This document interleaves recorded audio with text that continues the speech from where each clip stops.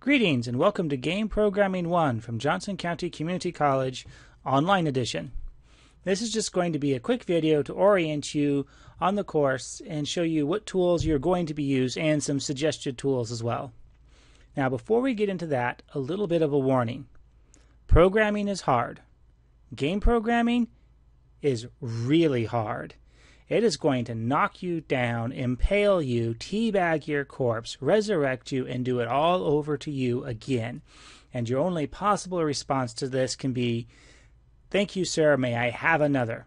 Seriously, it's that hard. Uh, it's game program or programming is about solving problems. Game programming is about solving problems that aren't well defined, and that just adds a whole extra layer of complexity onto it. Furthermore, this is an online class. To take an online class, you have to be self motivated. You don't have that mental pressure of, well, if I don't show up to class today, the teacher's going to know, the teacher's going to see that I am not here today. You don't have that mental pressure, that that routine of I know I need to be in this room in this building at this time on this day. It takes a lot of self motivation to do well in an online course. Yet, uh, to add more onto that, this is a summer course. You have got half the amount of time to get everything done. So, what I'm saying is, you have chosen to take this class in the hardest possible way.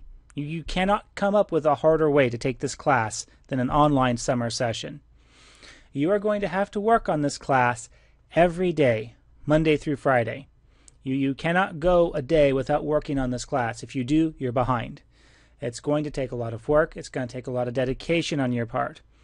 Uh, you're going to have a lot of sleepless nights. You know, you just you got to be aware of that. You've got to, you know, make sure that you've got the time to do well on this class. You if you don't have that time, if you don't think you've got that kind of dedication, I realize it can mess uh, schedules up, getting off shifted by a semester, but better that than failing. Speaking of failing, I want to make sure that everybody understands something right now. As of this moment, as of the start of this class, every single person is failing. You all have a 0% in F.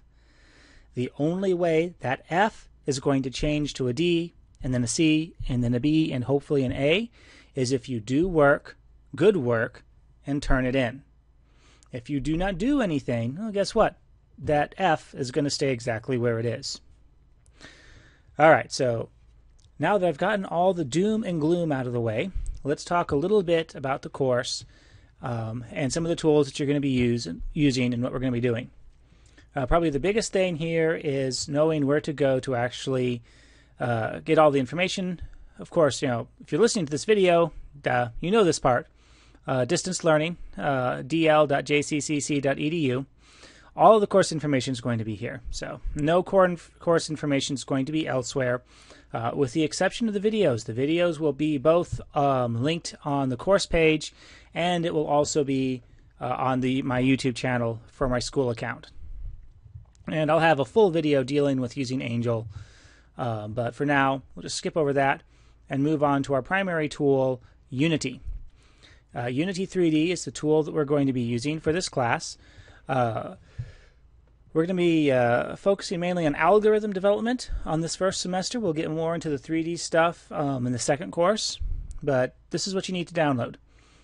Now, in the labs, we do not have 4.1 yet. In the labs, we have got, I believe it's 3.5.6, which, and if you missed that little click there, um, if you go to download on the Unity page, and then right underneath the download link, you'll see a looking for an older version. Click on that, and then you'll be able to get one of the 3.5 versions. Download 3.57, that's fine. Um, there's no project incompatibilities between 0.6 and 0.7. There are project incompatibilities between 3.5x and 4.x. So if you want to be working on this at school and at home, you need to have Unity version 3.5.7. That or deal with the annoyance of downloading and installing uh, Unity 4.1 every time you want to work on things in the lab. Um, if you just want to be working on things at home, I would actually recommend just using Unity uh, 4.1.3. Uh, for the videos in this course, I will be using Unity 4.1. There's no real major differences except that it looks a tiny bit different, but uh, everything's still organized exactly the same way. Most of the buttons are in exactly the same spot. It's just the uh, hierarchy. Um, I'm sorry, not the hierarchy. The uh, project resources section looks a little bit different but I will be using uh, 4.1.3 in the videos. I have both versions, so there's no worries as to which one you choose to do your work with. Now, since most of our stuff is going to be 2D visualization this semester, uh, there is a free, and we only need the free version, tool that we can get uh, called Orthello 2D Framework.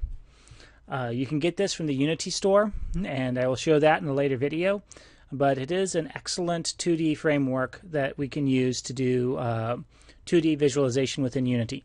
Unity is a 3D engine, so it requires a little bit of hammer hitting to get Unity to do 3D. Continuing on with some resources, opengameart.org is an excellent place to get graphics, sound, music, um, and eventually 3D assets. Now, we are programmers. We are not artists. We are not musicians. You know, we write code. You know, we don't do the pretty pictures. So using some place like Open Game Art to grab some resources so that way our projects look good is uh, very helpful. Moving on from there, if you want to create your own sound effects, bfxr.net is an excellent resource. Uh, you basically have some you know old style sound effects that you can create. And uh, yeah, works out pretty good.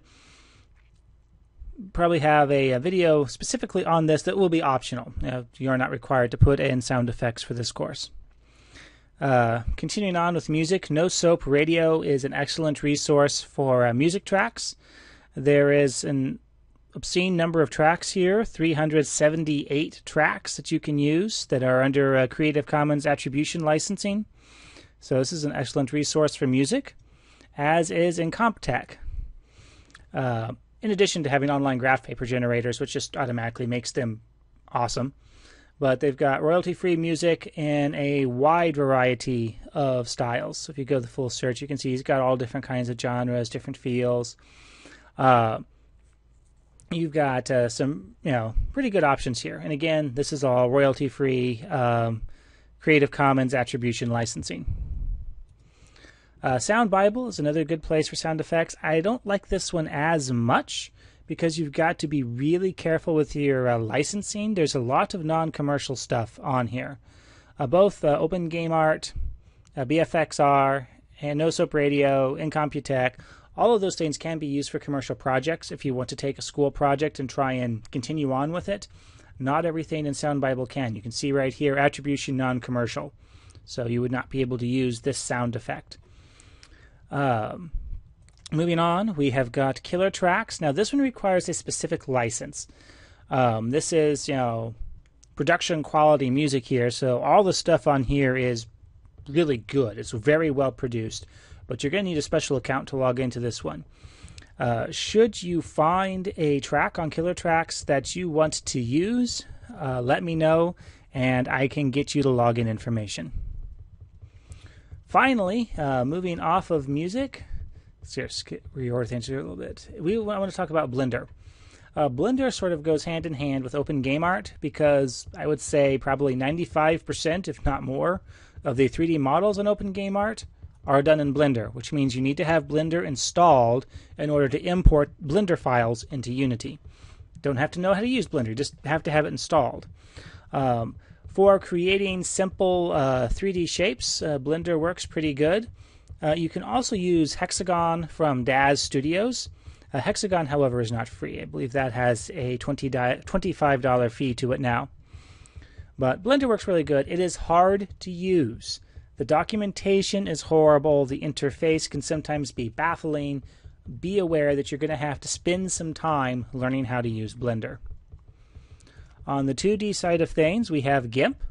Now, I could care less what 2D art package you use to create your 2D art assets with, um, but GIMP is free legally, and it pretty much has the same level of functionality as Photoshop or any other fancy package.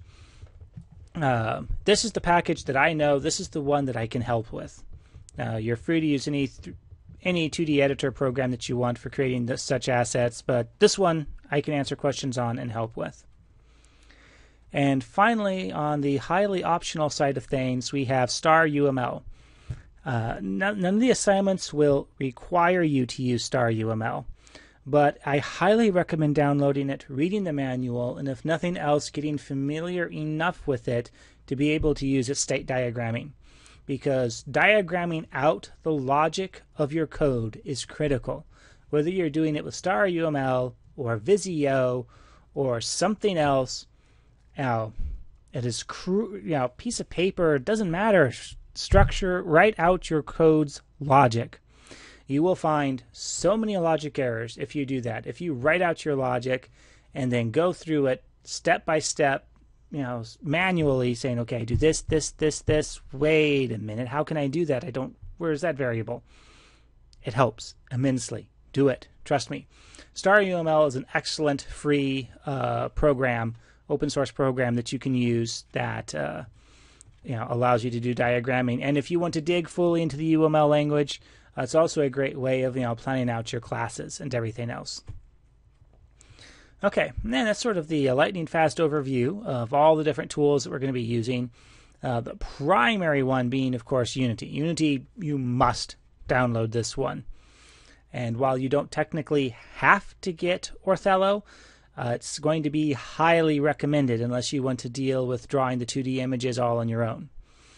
Uh, everything else on here is pretty much optional, but nice to have. And that's it for this video, so I will see you on the next one.